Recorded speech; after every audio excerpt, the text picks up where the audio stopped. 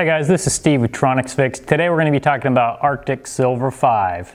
Now I've heard several comments on our YouTube channel about Arctic Silver 5 and is it conductive? Does it, is it something we should use or is it something you shouldn't use?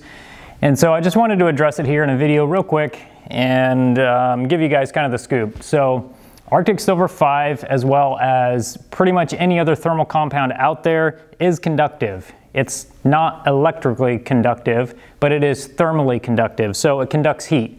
That's what thermal paste is made for, so if you hear people say Arctic Silver 5 or any other thermal paste for that matter is conductive, yes, it is thermally conductive. It is not electrically conductive.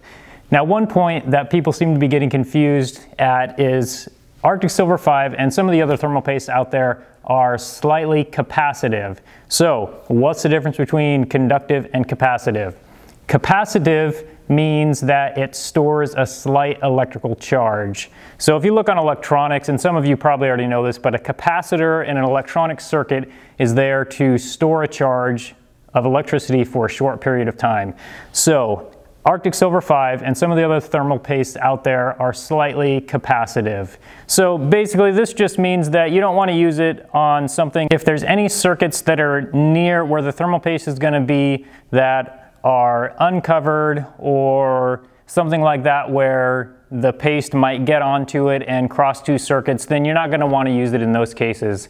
That being said, there's very, very few times when that would even come into play. Generally, you're using it on a CPU or a GPU and you're using it up on top of the shiny metal die and generally there's nothing near there that's going to cause any problems.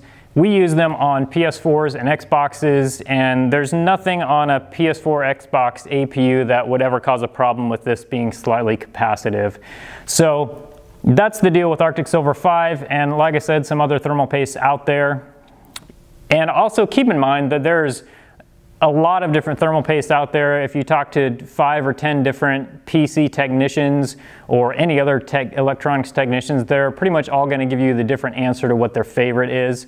So, you know, there's a lot of different thermal pastes out there. The main thing you gotta remember is choosing the correct one for your application and how it's gonna be applied. Just keep that in mind. Arctic Silver 5 is a great paste for just general application. We use it in pretty much everything we do and it works great. But there are also other thermal pastes out there that do perform a lot better. We generally go for a high quality paste at a lower, not necessarily lower, but at a, at a good price. So we're getting a good value on the paste.